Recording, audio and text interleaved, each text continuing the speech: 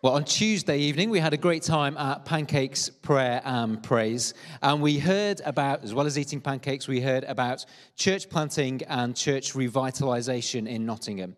And Rue, as he was leading, he began the, the, the evening by reminding us of a sermon that a guy called Jonathan Lamb preached here at Cornerstone from 1 Samuel uh, a few years ago.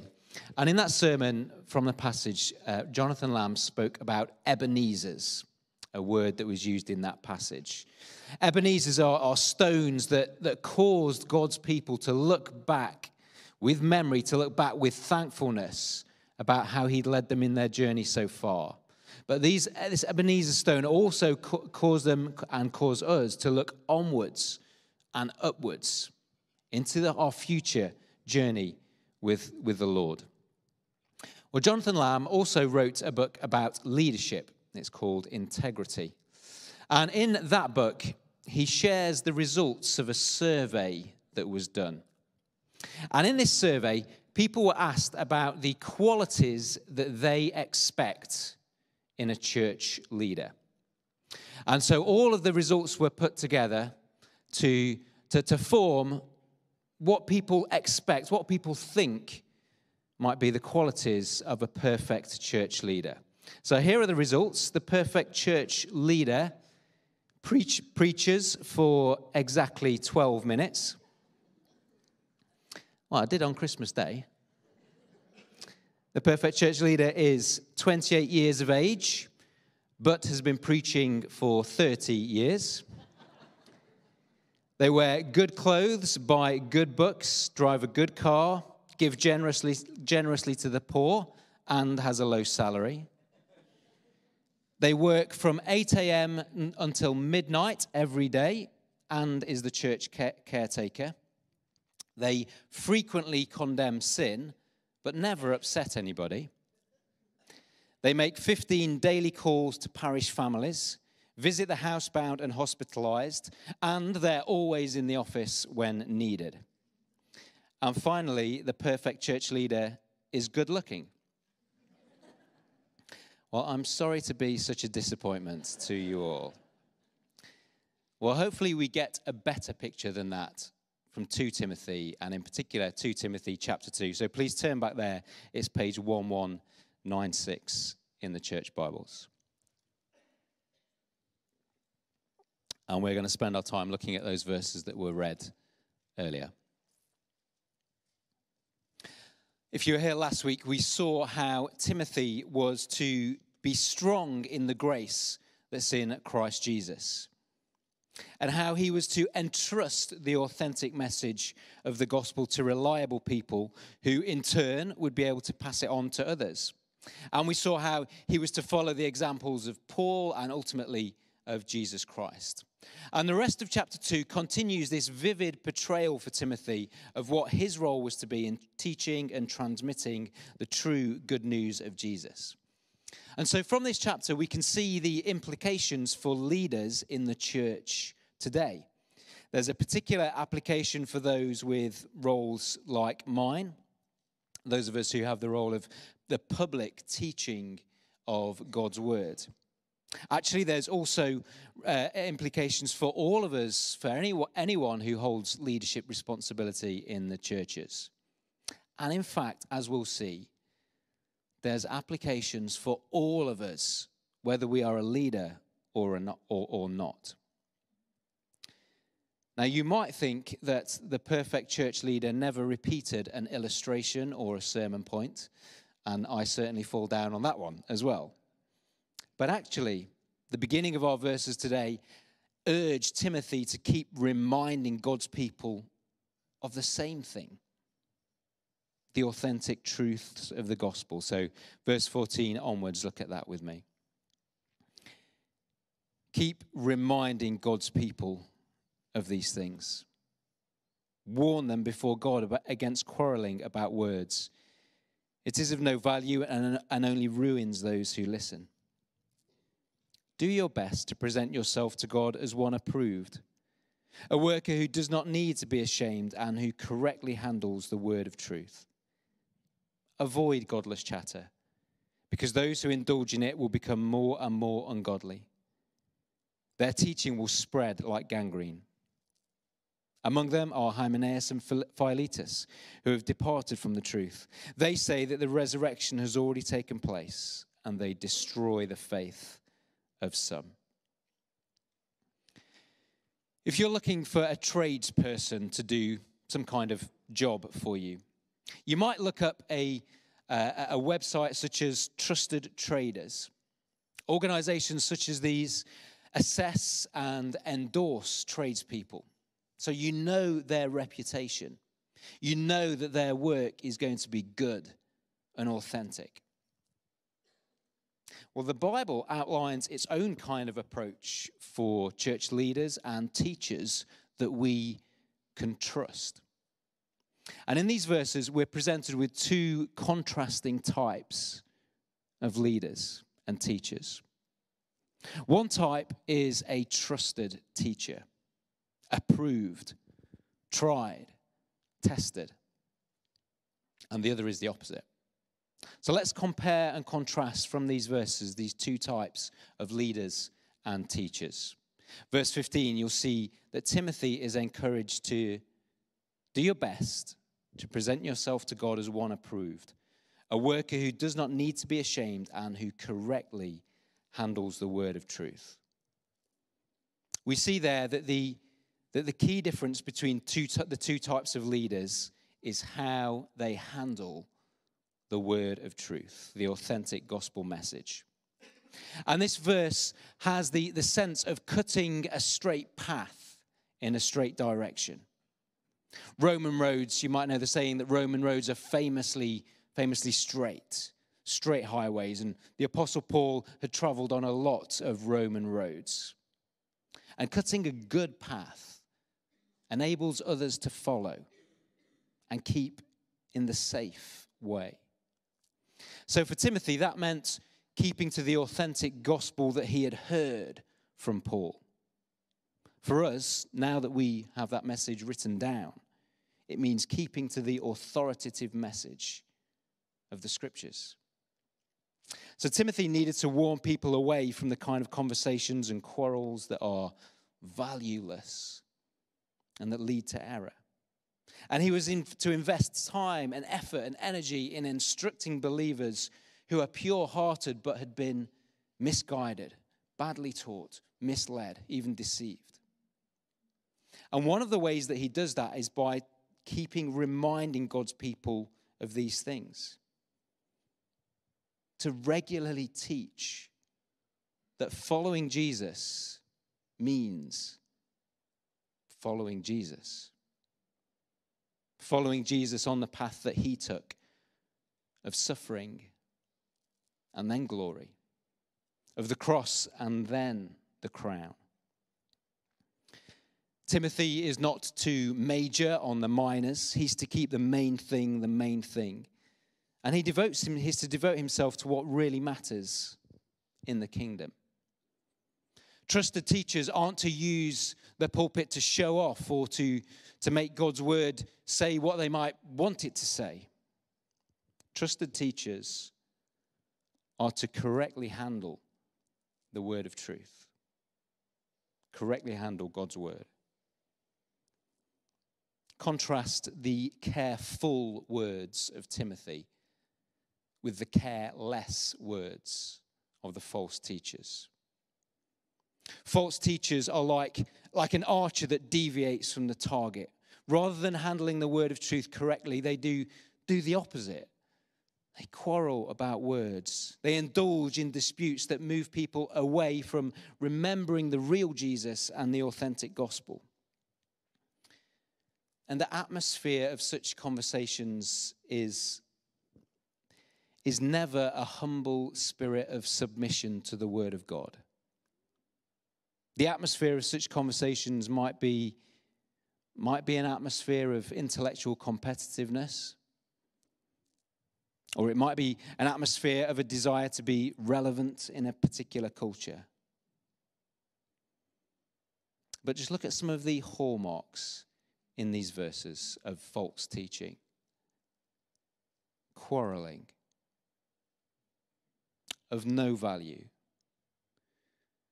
godless chatter, literally, less of God. Moving away from Him, less of God. Departing from the truth. Indulgent. And Paul gives some examples from the first century that Timothy would, be, would have been well aware of Hymenaeus and Philetus. We don't know lots about them, but we do, we're told that these teachers said that the resurrection had already taken place. Now, that might confuse us a little bit, but the reference to the resurrection there doesn't mean Jesus' resurrection. Of course, that had already taken place. Rather, they were referring to the resurrection of all God's people at the end of time, which, of course, hasn't, hadn't happened and still hasn't happened. And these false teachers were claiming to have already experienced this, such that they were saying that now we're free from the troubles and the trials of this life. And they held out this false promise of that experience to their listeners in the here and now. Let me share with you what Caroline Lacey says about this. The false teachers in Ephesus were doing this. She's talking about adding to the gospel message. Hymenaeus and Philetus are teaching that all God's future promises have already been fulfilled, and all the blessings of heaven can be experienced now. For them, this means freedom from suffering and a license to either withdraw from the world completely or become complacent about sin. In contrast, Timothy must be diligent to teach God's word accurately.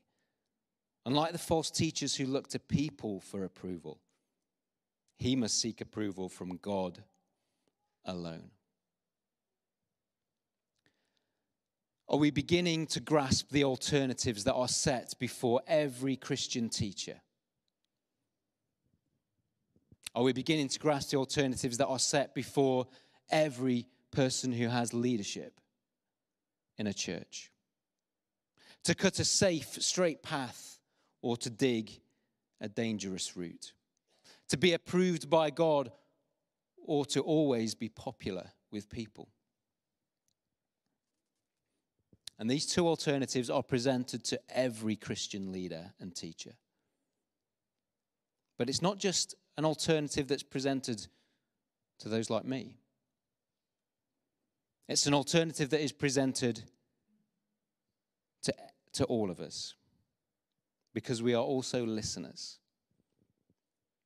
Leaders and teachers have an impact not just on themselves, but on their hearers and followers.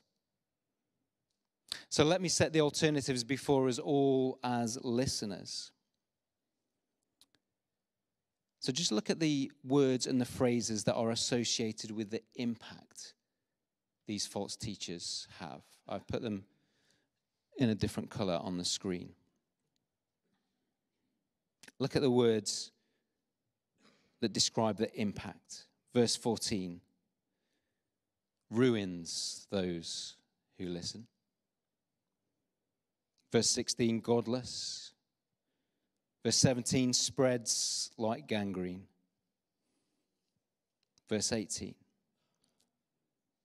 departed from the truth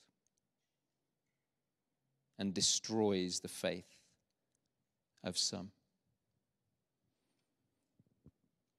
Taken together, that's not a healthy or attractive picture, is it? Like gangrene spreading infection quickly in the community. False teaching doesn't destroy bodies or limbs or muscles, but it destroys faith. False teaching raises expectations and then fails to deliver. False teaching is dishonoring to God and damaging to people. As John Stott said, we would be wise to ask ourselves regarding every kind of teaching, both what is its attitude towards God and what effect it has upon people.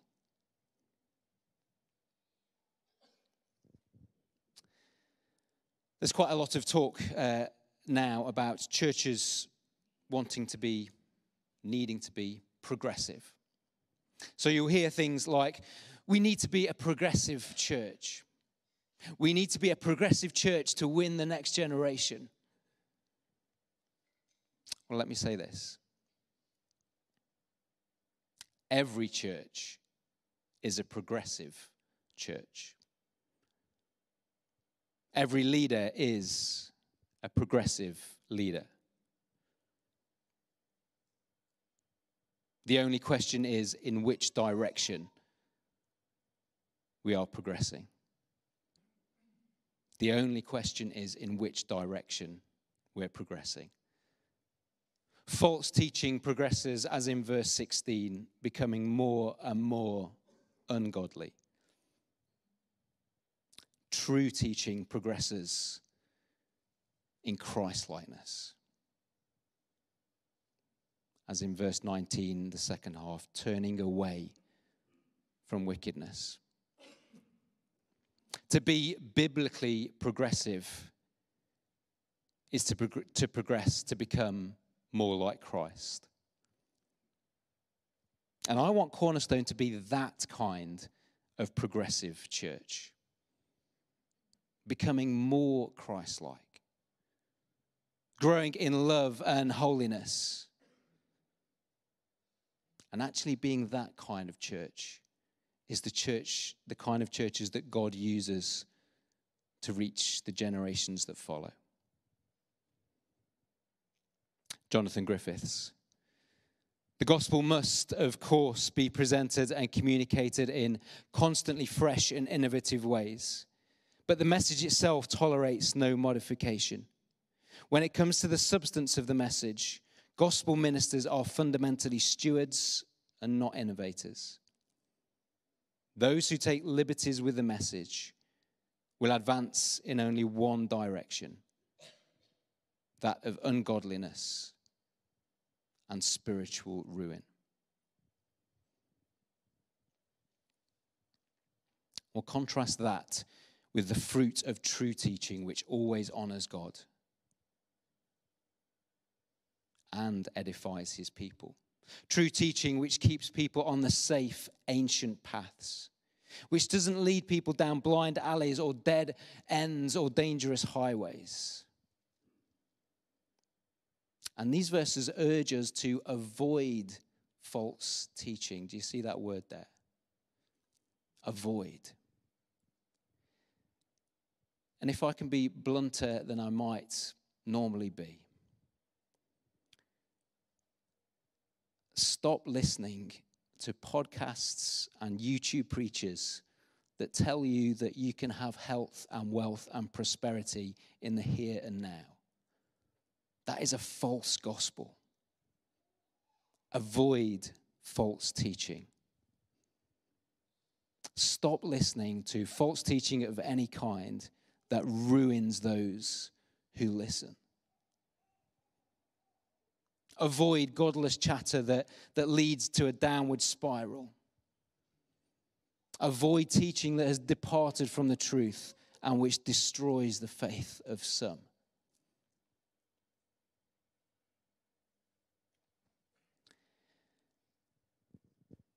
It can be a common experience to be shaken when we see false teaching prevailing, as we do at, at different times, in different ways, in different societies. And that can shake us. At the very least, it can be unsettling. But verse 19 reminds us that our foundation in God remains as steady as ever, however unsettled we might feel. Verse 19. Nevertheless, God's foundation stands firm, sealed with this inscription The Lord knows who are his. And everyone who confesses the name of the Lord must turn away from wickedness. The Lord's sovereign and eternal purposes are dis- depicted as an unmovable stone of a great building. And ultimately, the Lord knows who are his, who are his true people, his appointed leaders. It's God's church. And he knows who are his. Just because a church or a denomination has the word church in its title doesn't mean it truly is a church. And you'll know that I've been asking us to reflect on what Cornerstone is going to be like in 2053 throughout this series. Well, in 2053, Cornerstone Church will only be a church if we've held to the truth over the coming decades. I'm sure that in 2053, the building will st- still say on the side Cornerstone Church. It will still say they have the label. But that won't mean anything unless we have held on to the truth by passing it on to the next generation.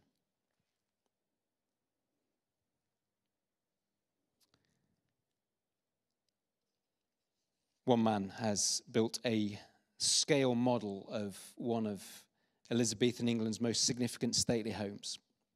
He's built entirely out of Lego. You might recognize that as, as Hardwick Hall. Uh, just up the motorway. My, my grandparents used to li- lived in Derbyshire, and there's the small holding that they had. Uh, on a clear day, it would you could uh, they were on top of a big hill, and you could overlook it. You could you, you could see Hardwick Hall from there. My granddad would always say, without fail, Hardwick Hall. Like he'd say, Hardwick Hall, more glass than wall. Every time. And every time I drive past it on the motorway, I will say exactly the same now. So. Uh, if you're ever in the car with me going north in the M1, look out for me saying that. Well, Dave Shaw from 53 from Mansfield has, has, has, built this and he's displayed his work on a Lego Ideas website. Whereas if it gets enough votes, it, there's a chance it will be considered for, for production. He built it out of a, a, a Lego Colosseum thing, but he had to, had to order some extra uh, window bricks for the glass because there's more glass than wall. Well, in verses 20 and 21, Paul is using an illustration to underpin his teaching. He paints a picture, and grand houses in the ancient world or in Elizabeth, Elizabethan England or any, anywhere else would have both expensive utensils and uh, everyday ones, those used on special occasions or in personal service of the owners, and those that were used in basic use in the kitchen or the scullery. So in verse 20, in a large house, there are articles not only of gold and silver, but also of wood and clay. Some are for special purposes, and some for common use. Those who cleanse themselves from the latter will be instruments for special purposes, made holy, useful to the master, and prepared to do any good work. The illustration is that in God's great household, these articles or instruments are representative of those true and false teachers amongst God's people.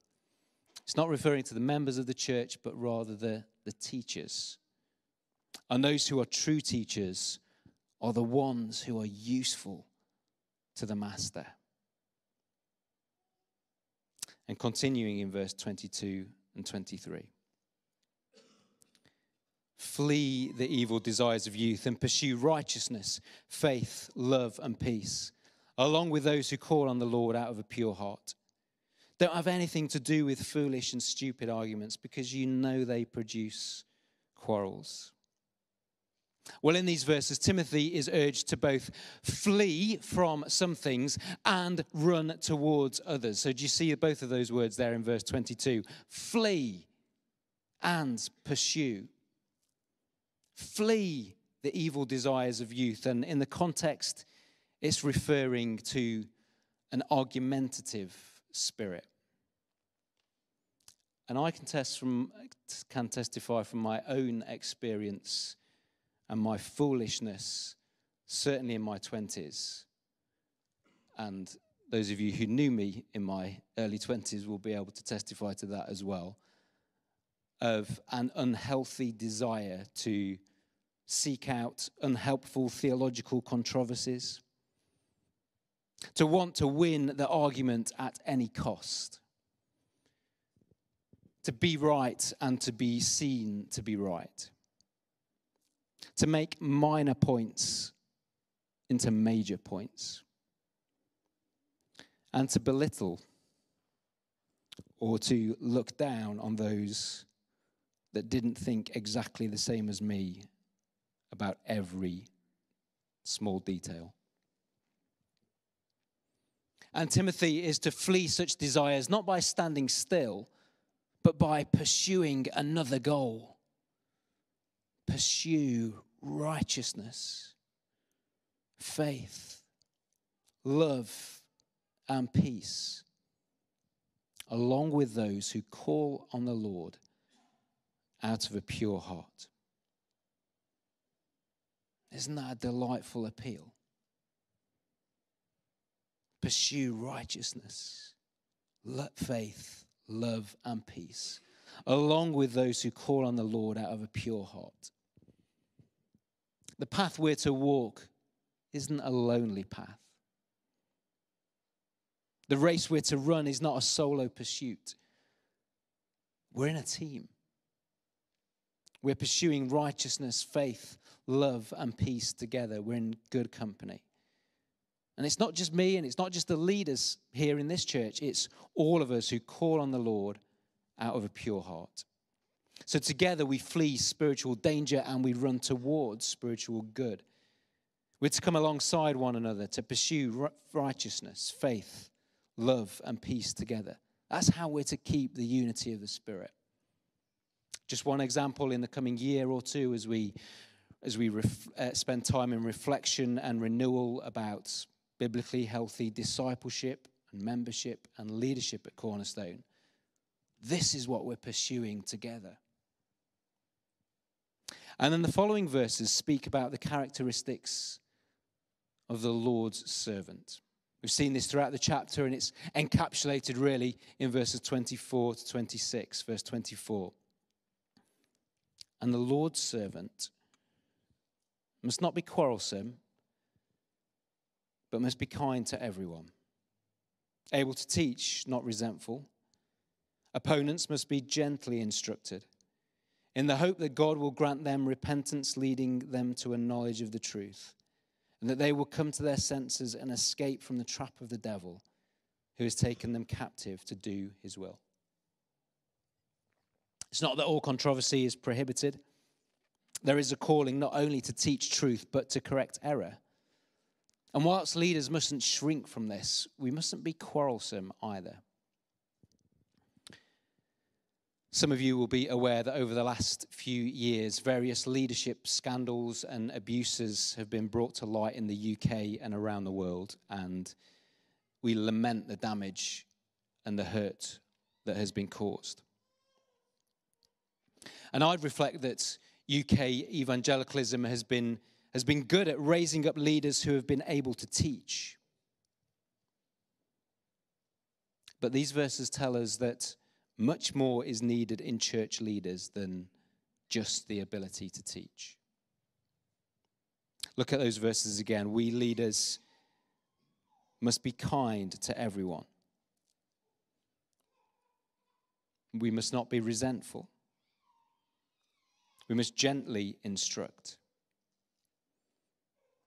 And we must trust that God will do his work in bringing those who have departed from the truth to repentance. And may God grant us the grace to raise up leaders, not just who are able to teach, but who are these things as well. Leaders who don't have outbursts of reactions, leaders who don't mock people or belittle them, but leaders who lead and teach with patient love and gentle correction. Some of the words in these verses do give us a sense of the seriousness of these matters. Those in error do need to repent and gently be led to the truth, to come to their senses, to escape the devil's trap. I think that's referring to real believers who've been misled or deceived by false teaching. We can't always just agree to disagree. And these verses don't have in mind the unconverted teachers who are dealt with in a very different way, as we'll see in chapter 3. And it requires wisdom and discernment to distinguish between all of these different scenarios in church life.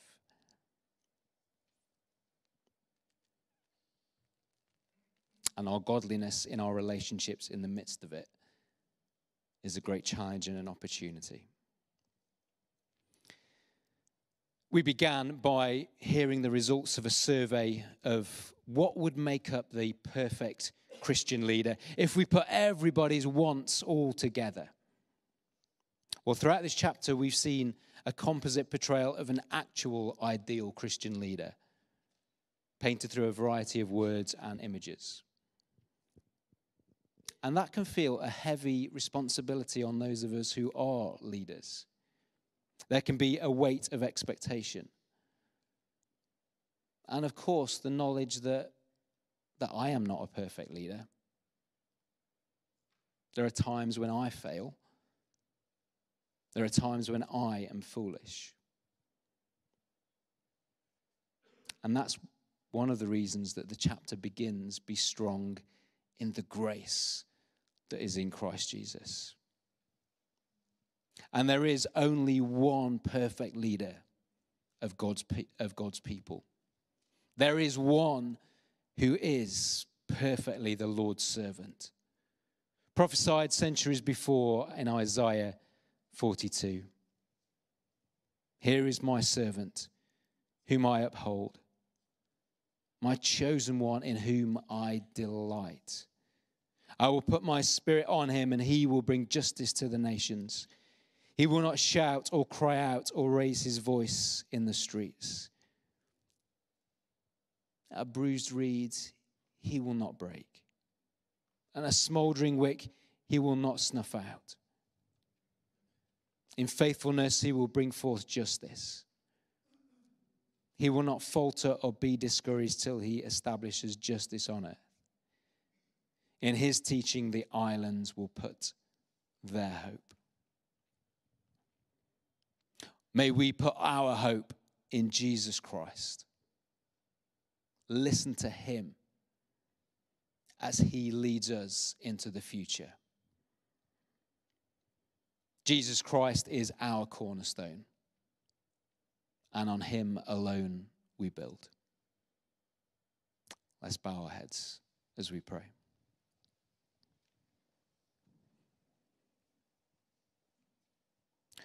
Lord Jesus, we praise you that you are the chief shepherd. That you are the one who does not break bruised reeds, who does not snuff out smouldering wicks, the one who establishes justice.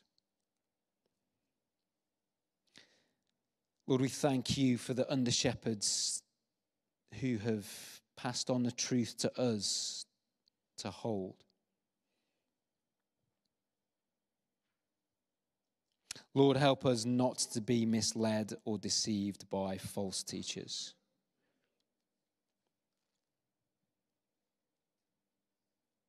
And Lord, cause us to progress in holiness and Christlikeness, pursuing righteousness, faith, love peace.